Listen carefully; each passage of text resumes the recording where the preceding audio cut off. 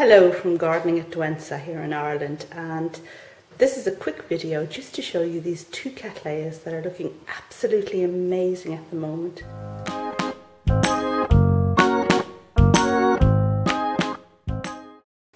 Now we're going to go in and have a look at them in just a second, but as you can see I've put them over here by the sink so we can get the benefit of the good light that's coming in through the window. And I've just raised the one on the right up in a glass jar just to show you. It's not how they grow, but it's just how I have them at the moment. And the one on the left is the King of Taiwan, Dashin number one. Uh, Cattleya orchid bought for its enormous flower. It is absolutely enormous. And the scent, it's a heady, spicy scent. Really, really fantastic. Now, this one, when it opened this year first, I feared had some kind of virus because can you see that slight discoloration on this petal here? But as the flowers opened more, the signs have faded, so now I'm not quite sure. It has some markings on various leaves, which I put down to kind of a, bacterial type thing.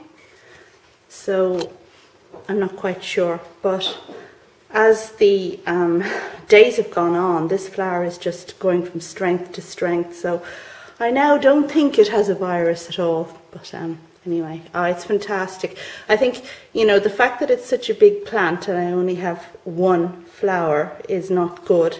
But the advantage has been that the one flower is absolutely enormous.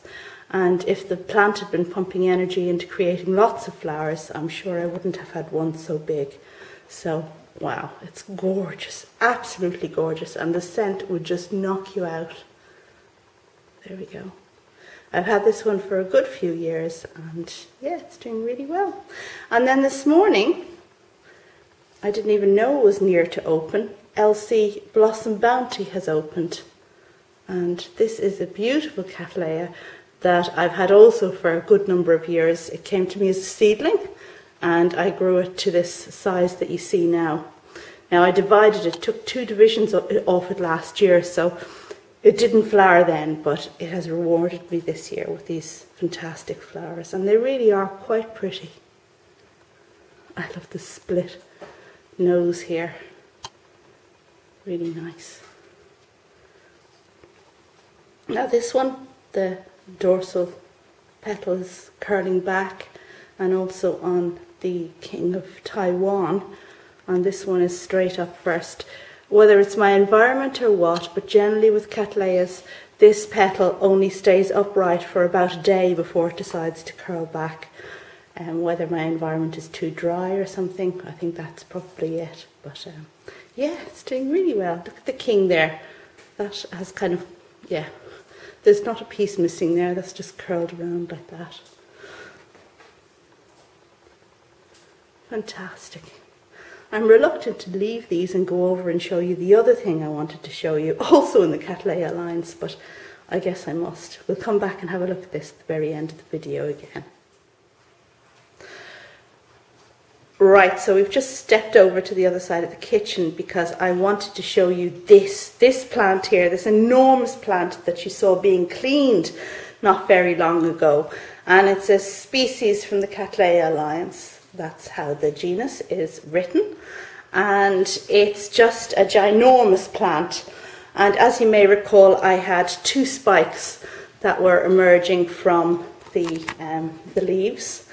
And this one, look at it, wow, this is looking so, so promising right now. I can actually even see the bud there. Now, my understanding is that these stems get absolutely enormous before they ever flower, so they'll go all the way up to the seeding. But this is the furthest I've ever gotten um, this plant to flower. So maybe it was down to the cleaning of the leaves that Dimitri did. So thank you, Dimitri. And um, the other one over here, it's less far advanced, but oh, fingers crossed, really, really big fingers crossed. And I honestly hadn't noticed this other thing I'm going to show you because I came over here to show you just this um, plant. And what do I notice but something else flowering? Now let's see if I can pull it out. I think I'm going to have to put down the camera for a minute. And here we have it. Look, look, look, this is just on the cusp of opening. Look at that. It looks all kind of mottled in there, so we're going to have to see how those colours develop as the petals open.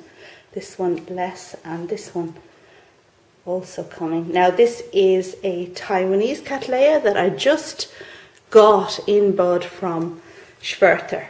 That's the name of it. And it's called Samuel. So this is, um, well, my youngest son is called Samuel, so. Right, so um, we'll have to come back and have a look at this one. It opens fully, fully in a few days. But it's a real Cattleya fest around here at the moment. Absolutely. Okay, and back we are again at the sink where the light's a bit better and we can see the three cattleyas together. The one on the left is being held by me, that's why it's kind of wobbling around like that. But ah, isn't it great? Well, I'm certainly delighted with it. Now, this one, I don't detect a scent yet. Oh, I do, yes, there is a scent, but it's nothing compared to the King of Taiwan. And Samuel says hi. Okay, that's all for now. Thanks very much for watching. Check back again and hopefully we'll see this orchid here in better flower and lots more cattleyas.